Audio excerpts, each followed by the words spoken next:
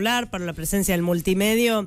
Eh, está con nosotras Ada Cortés, que es de la casa, Ada, en realidad. Bueno, además de ser docente, tiene su espacio en la hora de clase, su programa eh, aquí en, el multimedio, eh, ya por segundo o tercer año consecutivo.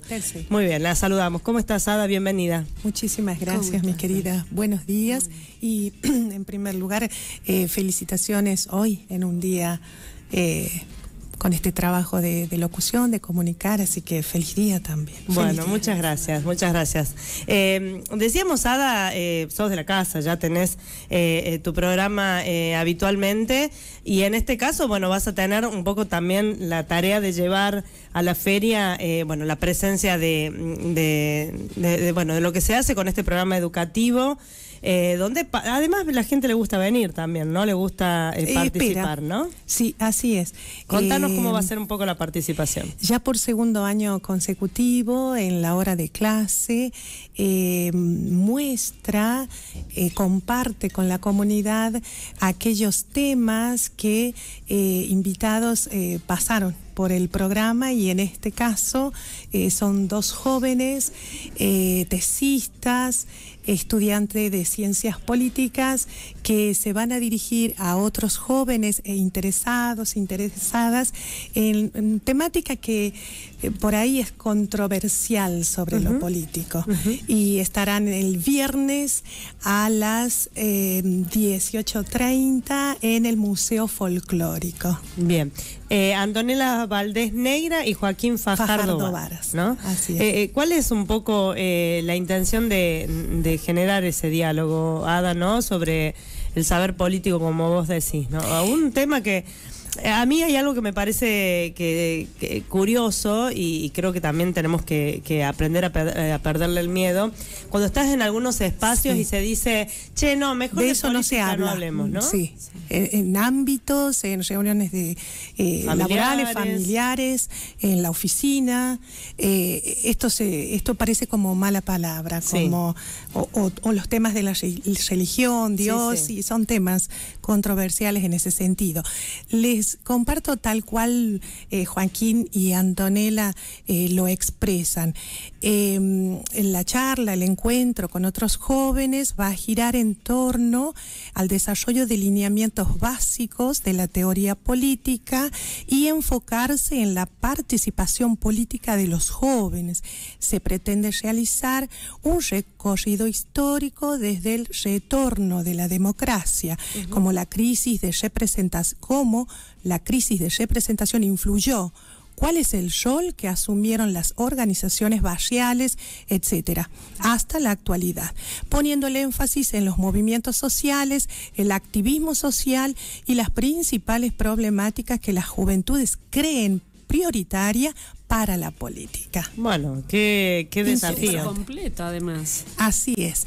Esto demuestra, tal cual eh, Antonella y Joaquín eh, lo preparan, eh, justamente el alcance de la formación, la pasión por la profesión y, y, y, esa, y ese espíritu de innovación y de atrevimiento constante. Tanto Antonella como Joaquín son jóvenes estudiantes universitarios con vasta experiencia en exposiciones, en participación en conferencias internacionales, nacionales, o sea, que son jóvenes que van a transmitir a otros jóvenes la posibilidad de pensar y pensarse en ámbitos donde los jóvenes ya desde adentro les viene fluyendo esto de eh, el decir, el expresar y el concretar fundamentalmente. Y, la juventud vinculada a los temas políticos también, ¿no? Que, bueno. Que sí eh, los hay. Sí, sí, claro, sí. Y, se vinculan y, participan. Y, son responsables a la hora de emitir una opinión también. Sí. Así es, tal cual.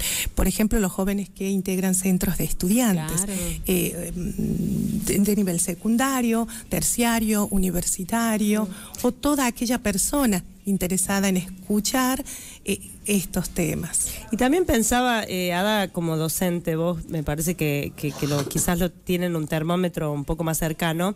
Eh, hay eh, por ahí quizás una irrupción a partir de las nuevas plataformas, no sé, de pronto se me viene a la cabeza TikTok, Instagram, pero sobre todo quizás las plataformas de video o los, las plataformas de streaming, ¿no? Que son muy utilizadas por jóvenes que se animan a, incluso a difundir contenidos a través de, ese, de esas modalidades y no, y no está en esta, la idea de, bueno, che, tenemos que hacer un programa político con toda la formalidad, vamos a pensar, ¿no? Hay como otro manejo de esas herramientas, ¿o no? Sí, una invitación a, a desestructurar moldes de pensamiento, líneas de pensamiento. Eh, a cuestionar, a interpelar las teorías y las prácticas concretas que se, eh, que se advierten en la realidad. Y esa es la, puja de, la juventud. Y nosotros, digo nosotras como, como adultos, eh, bueno, poder mirar y, abrir nuestra mente es dar cabida a, estas posibilidades que, nos acercan los jóvenes. las escuelas, las instituciones, la academia eh, cuenta con un semillero importante que hay que rescatar en el sentido que lo que los jóvenes expresan, por ejemplo, en el nivel secundario acerca de lo político, acerca de la realidad social, cultural, económica, eh, tiene una calidad de, verdad, de consistencia que, hay que escuchar, que hay que tomar. Y, son los que van marcando también la agenda pública, política, ¿no? Digo, sus necesidades, em, sus, sus problemas, sus conflictos, bueno, digo, son los que van marcando también la, la, instauración de políticas públicas. saben organizarse, convocar motivar, armar agenda de trabajo, de participación. Eh, ellos tienen esa, esa frescura y, y ese despliegue pegue de, la estructura y de lo que tiene que ser o del deber ser. Sí, claro. Entonces, eh, eso es lo brillante, eso es lo magnífico y eso es lo que necesitamos para despertarnos y, no caer en esa, eh, en lo que caemos por ahí, el desaliento de que esto eh, no tiene posibilidad o cabida de transformación. Mm. Por eso la presencia de Antonella y de Joaquín, porque insisto, eh, son jóvenes, eh, como tantos jóvenes universitarios, tan ricos en sus ideales, en su pensamiento y, en la concreción de, las ideas. Mm. Bueno, y en este caso la, posibilidad de eh, llevar este debate a la Feria del Libro, ¿no? Donde hay una, digo, es una vidriera, es una forma también de, de amplificar la voz. Mostrar, eh, escuchar, hacer escuchar eh, la voz de, en este caso, de, los jóvenes. Y la Feria del Libro eh, tiene esa impronta y tiene esa, mm, esa apertura para, bueno, luego de presentadas las propuestas, decir esta propuesta es válida y que la Feria del Libro dé como válida esta propuesta por parte de la hora de clase y es primero de agradecimiento y de, y de mirar que se está en una sintonía de, considerar temas que, bueno, nos permitan reflexionar y pensar acerca de nuestra realidad. Bueno, qué bien, qué bueno que se, se eh, motorice esta actividad. Eh, ahí estamos viendo en pantalla eh, en diálogo con los jóvenes sobre el saber político, eh, un, contenido que eh, además nace de esta propuesta del multimedio, decíamos tercer año consecutivo de la hora de clase, ¿no? Así es, así es.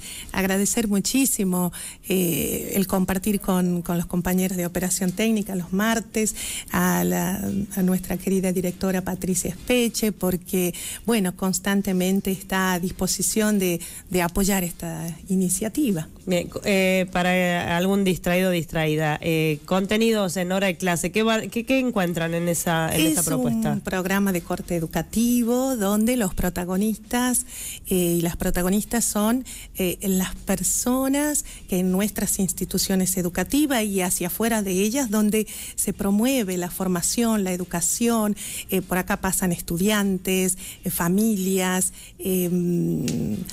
eh, Hubo jardín de infante esta semana, ¿no? Ayer, ayer. poblado de, de, una salita de cinco de, sí, lo veía, hermoso acá. 12 y, las familias y eh, estuvieron muy bien y se recreó naturalmente lo que es, acontece en una sala de jardín que la señorita está, está trabajando o está atendiendo algo y, los niños vienen y ella amorosamente responde y, y, la centralidad está en ocuparse de la demanda y la necesidad de los niños y las niñas. Y eso se transmitió y eso se pudo ver, se pudo escuchar mm.